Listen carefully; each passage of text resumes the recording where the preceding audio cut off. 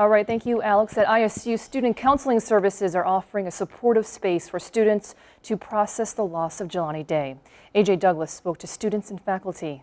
A lot of us were somewhat expecting, but just really hoping that it wasn't the case.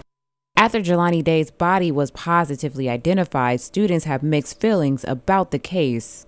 You're just very curious of what exactly happened and you just have a lot of questions and you know you want answers and you know the police and you know nobody can really give those at this time which is makes it just super hard.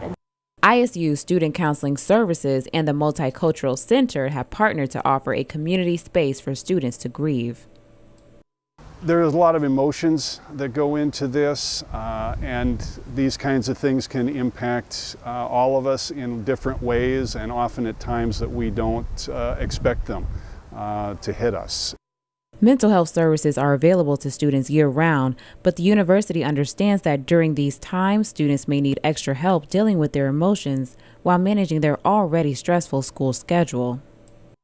Providing that uh, year round is, is important, uh, but certainly in a time uh, of, of great difficulty like this, having this extra availability on just a walk-in basis is very important.